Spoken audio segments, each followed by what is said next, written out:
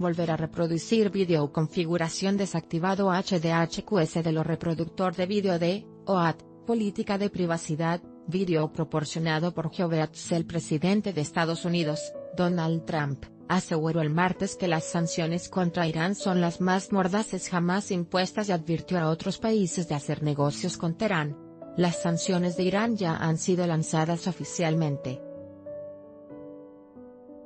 Estas son las sanciones más mordaces jamás impuestas, y en noviembre aumentan a otro nivel, escribió en un tuit matutino, en el que añadió una amenaza, cualquiera que haga negocios con Irán no los hará con Estados Unidos.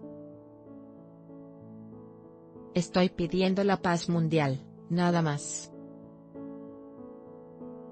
Las sanciones lanzadas de nuevo el martes contra Teherán que apuntan al acceso a los billetes estadounidenses y a sectores claves como los automóviles y las alfombras probablemente no causen un impacto económico inmediato. Los mercados iraníes son relativamente bollantes, con un fortalecimiento del rial de un 20% desde el domingo, después de que el gobierno relajara las estrictas normas de cambio de moneda y permitiera importaciones ilimitadas y libres de impuestos de oro y divisas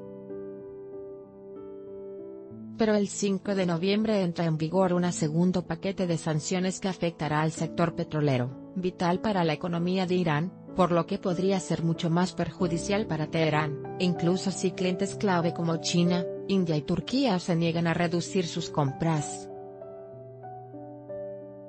Trump comenzó a mostrar su descontento con el acuerdo nuclear de Irán durante la campaña de 2016 que le llevó a la Casa Blanca y el 8 de mayo de este año cumplió su promesa de sacar a Estados Unidos del acuerdo internacional.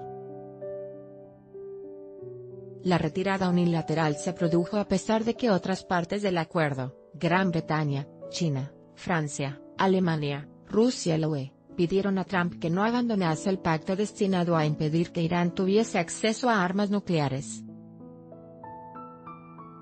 Más noticias en Irán en imágenes, el confidencial.